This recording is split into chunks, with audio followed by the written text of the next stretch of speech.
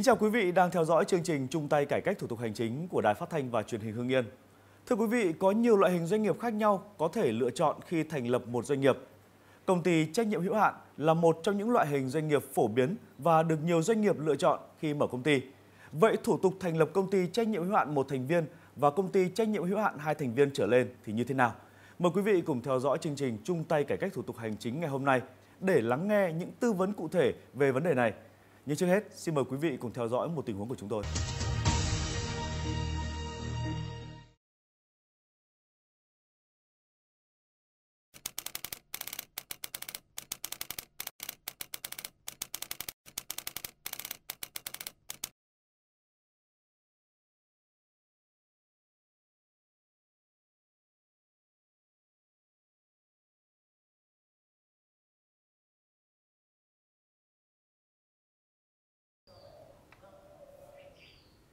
Anh Thái ơi, ra ăn hoa quả này. Đây, anh ra đây. Làm cái gì mà cả ngày cứ cắm mặt cắm mũi vào điện thoại đấy? Gớm. Anh đang nghiên cứu công việc. Thôi đi, yêu cái điện thoại hơn cả tôi rồi. Hay là chat chít với con nào trên đấy? Đâu? Bận tối mắt tối mũi thế này Lấy đâu ra thời gian mà chat chít vớ vẩn? Mà này em. Dạ. Em thấy tình hình kinh doanh dạo này của anh thế nào? Ô, em vẫn thấy ổn mà Sao đây, có chuyện gì à? Không, không có chuyện gì Nhưng mà anh thấy kinh doanh đang thuận lợi. Anh đang tính thành lập công ty. Sao lại thành lập công ty? Ừ, Anh nghĩ kỹ rồi. Muốn kinh doanh phát triển hơn thì phải thành lập công ty. Như thế làm việc với đối tác nó cũng dễ hơn. Mà em cũng biết đấy Từ ngày xưa đến giờ Lúc nào anh cũng muốn là thành lập doanh nghiệp riêng của mình mà. Anh nói làm em cứ lo lo làm sao ấy. Không, không phải lo. Anh đang tính thành lập công ty trách nhiệm hữu hạn một thành viên Mà bạn anh là luật sư chuyên về mảng doanh nghiệp Nó đang tư vấn cho anh đây này. Thôi được rồi, nếu anh đã quyết như thế Em cũng ủng hộ thôi. Nhưng mà phải xem xét kỹ lưỡng mọi thứ Kể cả là thủ tục thành lập công ty nữa. Rồi, em yên tâm. Chỉ cần em tin anh và ủng hộ anh Anh tin là mình sẽ thành công. Mà anh phải kiếm thật nhiều tiền Để còn lo cho con mình nữa chứ. Vợ chồng mình sắp đón em bé rồi còn gì nữa Thưa quý vị, trong tình huống trên, anh Thái có ý định thành lập công ty trách nhiệm hữu hạn một thành viên để hoạt động kinh doanh chuyên nghiệp hơn, có sự uy tín để hợp tác với các khách hàng lớn. Anh chưa biết thành lập công ty trách nhiệm hữu hạn sẽ có những ưu và nhược điểm như thế nào và thủ tục ra sao. Mời quý vị cùng theo dõi cuộc phỏng vấn với luật sư để lắng nghe những tư vấn về đặc điểm loại hình công ty trách nhiệm hữu hạn và quy trình thành lập. Phân biệt công ty trách nhiệm hữu hạn một thành viên và công ty trách nhiệm hữu hạn hai thành viên trở lên. À, khi thành lập doanh nghiệp mà dưới mô hình là công ty trách nhiệm hữu hạn một thành viên hoặc là công ty trách nhiệm hữu hạn hai thành viên thì chúng ta cần lưu ý một số điểm để phân biệt hai cái loại hình này như sau. Thứ nhất, cái điểm phân biệt thứ nhất là về cái số lượng à, chủ sở hữu. Thì đối với công ty trách nhiệm hữu hạn một thành viên thì về số lượng chủ sở hữu là do một cá nhân hoặc là một tổ chức làm chủ sở hữu. Tuy nhiên đối với công ty trách nhiệm hữu hạn hai thành viên trở lên thì cái số lượng chủ sở hữu thì ít nhất là hai và tối đa là 50 thành viên là cá nhân hoặc là tổ chức. Ờ, cái đặc điểm thứ hai mà tạo nên cái sự khác biệt giữa hai cái mô hình công ty trách nhiệm hữu hạn một thành viên và công ty trách nhiệm hữu hạn hai thành viên đó là về cái cơ cấu tổ chức. Thì về cơ cấu tổ chức thì công ty trách nhiệm hữu hạn một thành viên thì có thể lựa chọn ờ, một trong hai cái loại hình.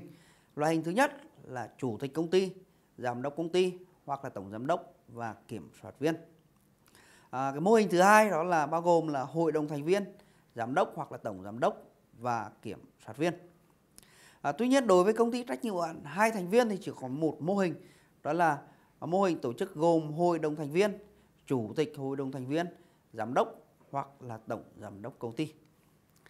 À, cái đặc điểm thứ ba nữa và tạo ra cái sự phân biệt giữa hai loại hình này đó là về hạn chế cái việc chuyển nhượng vốn đối với công ty trách nhiệm hữu hạn một thành viên thì chủ sở hữu công ty trách nhiệm hữu hạn một thành viên có toàn quyền à, quyết định cái việc chuyển nhượng và định đoạt toàn bộ à, hoặc là một phần vốn điều lệ của mình trong công ty. Trong trường hợp chuyển nhượng à, một phần vốn góp cho tổ chức cá nhân khác thì công ty phải chuyển đổi loại hình thành công ty trách nhiệm hữu hạn hai thành viên hoặc là công ty cổ phần. À, tuy nhiên đối với công ty trách nhiệm hữu hạn à, hai thành viên trở lên thì khi một cái thành viên muốn chuyển nhượng phần vốn góp của mình thì phải chào bán cho các cái thành viên còn lại với cùng những cái điều kiện về việc chuyển nhượng. Các thành viên còn lại có thời hạn 30 ngày để trả lời về việc là chấp nhận hoặc từ chối mua. Trong trường hợp mà các thành viên còn lại mà từ chối mua thì thành viên có ý định chuyển nhượng vốn mới được phép chuyển nhượng vốn cho các cái tổ chức cá nhân ở bên ngoài. Hồ sơ và trình tự thực hiện thủ tục thành lập công ty trách nhiệm hữu hạn một thành viên. Về thủ tục thành lập công ty trách nhiệm hữu hạn một thành viên thì chúng ta lưu ý mấy vấn đề. Thứ nhất là vấn đề về hồ sơ. Thì hồ sơ đăng ký thành lập công ty trách nhiệm hữu hạn một thành viên bao gồm thứ nhất là giấy đề nghị đăng ký doanh nghiệp theo mẫu mà pháp luật đã quy định. Thứ hai là điều lệ công ty. Thứ ba là bản sao hợp lệ chứng minh nhân dân, căn cước công dân hoặc là hộ chiếu của người đại diện theo ủy quyền đối với công ty trách nhiệm hữu hạn một thành viên được ờ, tổ chức quản lý theo mô hình chủ tịch công ty. Thứ tư là danh sách người đại diện theo ủy quyền mà theo mẫu do pháp luật quy định và bản sao hợp lệ chứng minh nhân dân hoặc là căn cước công dân hoặc là hộ chiếu của từng đại diện theo ủy quyền đối với công ty trách nhiệm hữu hạn một thành viên được tổ chức quản lý theo mô hình hội đồng thành viên. Thứ năm là bản sao hợp lệ một trong các cái giấy tờ sau đây. Thứ nhất là chứng minh nhân dân hoặc là căn cước công dân hoặc là hộ chiếu của chủ sở hữu công ty đối với trường hợp chủ sở hữu công ty là cá nhân. Thứ hai là quyết định thành lập hoặc là giấy chứng nhận đăng ký doanh nghiệp hoặc là giấy tờ tương đương khác của chủ sở hữu công ty đối với trường hợp chủ sở hữu công ty là tổ chức, trừ trường hợp chủ sở hữu công ty là nhà nước.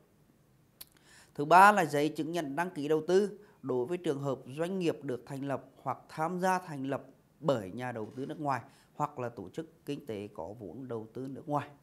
Thứ năm là văn bản ủy quyền của chủ sở hữu cho người được ủy quyền đối với trường hợp chủ sở hữu công ty là tổ chức.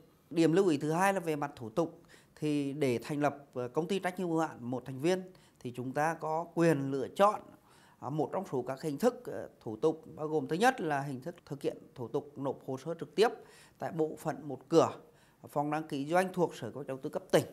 Hình thức thứ hai là lựa chọn hình thức đăng ký kinh doanh qua mạng. Đăng ký kinh doanh qua mạng thì có hai cái cách. Là thứ nhất là sử dụng chữ ký số công cộng hoặc là sử dụng tài khoản đăng ký kinh doanh. À, đối với việc nộp hồ sơ đăng ký kinh doanh qua mạng à, điện tử sử dụng chữ ký số công cộng thì thứ nhất là chúng ta thực hiện việc kê khai thông tin tải văn bản điện tử, à, ký số và hồ sơ đăng ký điện tử theo quy trình mà đã hướng dẫn cụ thể trên cổng thông tin quốc gia về đăng ký doanh nghiệp. Sau khi hoàn thành việc gửi hồ sơ đăng ký thì người nộp hồ sơ sẽ nhận được giấy biên nhận hồ sơ đăng ký doanh nghiệp qua mạng điện tử. Trường hợp hồ sơ đủ điều kiện cấp giấy chứng nhận đăng ký doanh nghiệp thì phòng đăng ký kinh doanh sẽ gửi thông tin sang cơ quan thuế để tự động tạo mã số thuế doanh nghiệp.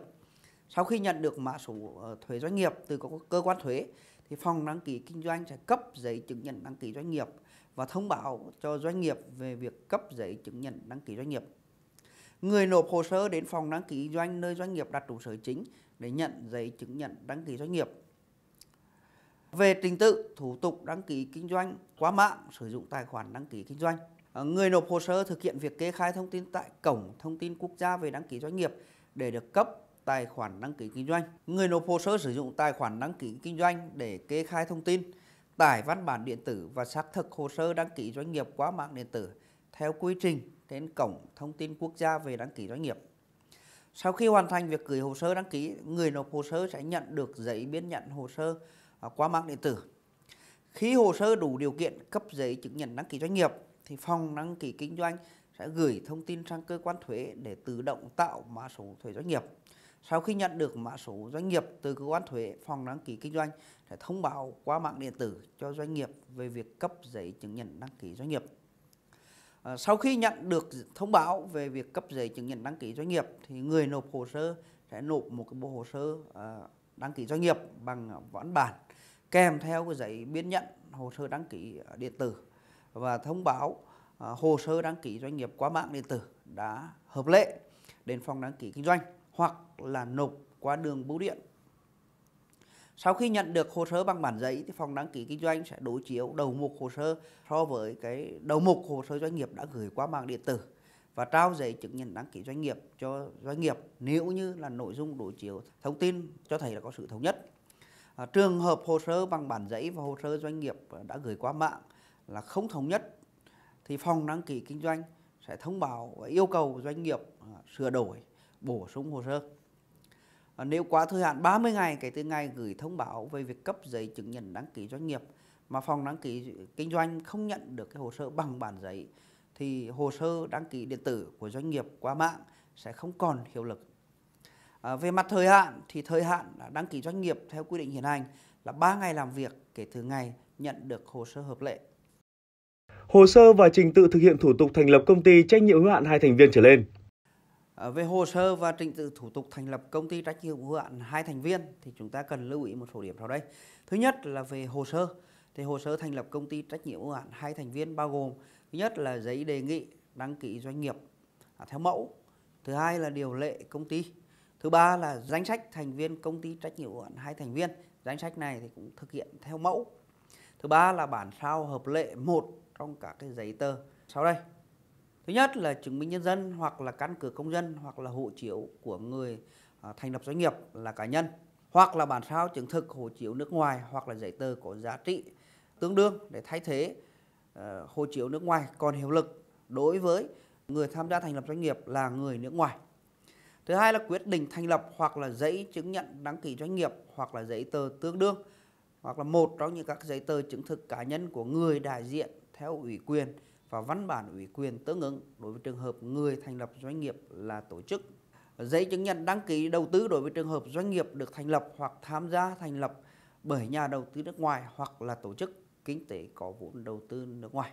Trình tự thủ tục thành lập công ty trách nhiệm hữu hạn hai thành viên thì tương tự như là trình tự thủ tục thành lập công ty trách nhiệm hữu hạn một thành viên mà tôi đã nêu ở trên. Thưa quý vị, qua phần tư vấn của luật sư, hy vọng rằng quý vị đã nắm rõ quy trình thực hiện thủ tục thành lập công ty trách nhiệm hữu hạn một thành viên và công ty trách nhiệm hữu hạn hai thành viên trở lên.